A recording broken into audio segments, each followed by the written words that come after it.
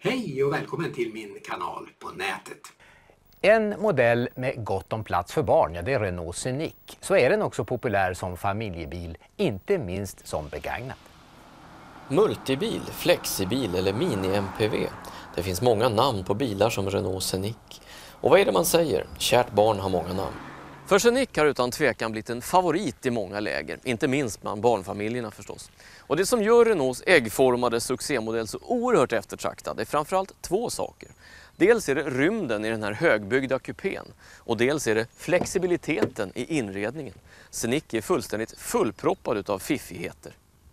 Bland annat är baksätet utformat som tre separata stolar som är fällbara, flyttbara och borttagbara. Man kan alltså skräddarsy bilen efter stundens behov. Om man till exempel fäller mittstolen så bildas ett praktiskt litet bord som ungarna kan leka på.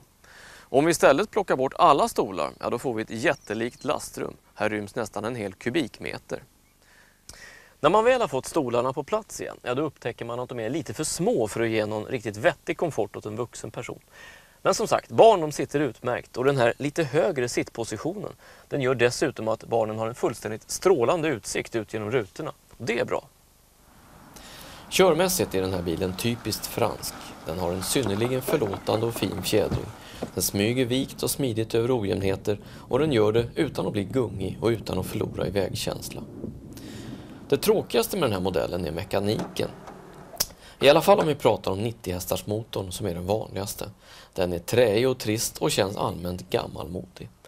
Den större 115 hästan är heller inget under av modernitet, men den ger i alla fall bilen bättre skjuts i alla lägen.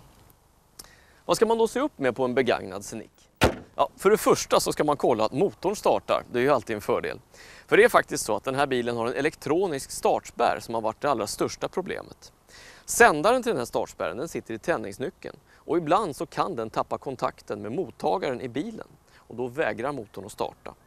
Men det kan också vara så enkelt så att batteriet i den här sändaren är slut. Så man ska först kolla att den här röda indikeringslampan tänds när man trycker på knappen. Den här startspärren den kan även aktiveras trots att nyckeln sitter i tändningslåset. Och också då måste man trycka på den här knappen för att motorn ska gå att starta. Det är ganska bra att veta. Ett annat detaljfel det är oljenivåmätaren. En ganska fiffig detalj som gör att man kan kolla motoroljenivån inifrån bilen utan att öppna motorhuven. Men det förutsätter förstås att man kan lita på den här mätaren, att den funkar som den ska. Och på vissa exemplar har det varit så att den här mätaren visar noll trots att oljenivån i själva verket har varit helt korrekt. Sen har det också varit en del enstaka elfel, bland annat ett kontaktfel vid startmotorn. Och då var vi där igen, kolla att motorn startar. Hos Bilprovningen har Scenic klarat sig ungefär som medelbilen och det som har dragit på sig i särklass flest anmärkningar det är huvudstrålkastarna och positionsljusen. Till sist det klassiska felet på begagnade bilar, bromsarna. Kolla att bromsarna tar rakt, att de inte ligger på och att det inte skakar i ratten när du bromsar. Och förstås att parkeringsbromsen är tillräckligt effektiv. Det var de specifika detaljerna att hålla ögonen på för dig som är spekulant på en begagnad Scenic. Sen bör du förstås undersöka bilens kondition i största allmänhet. Och om du inte har den kunskapen själv så är tipset att låta Motormännens testcenter eller Bilprovningen göra ett konditionstest.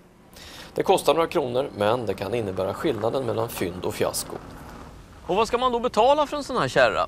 Ja, priserna börjar någonstans vid ungefär 75 000 för första årsmodellen.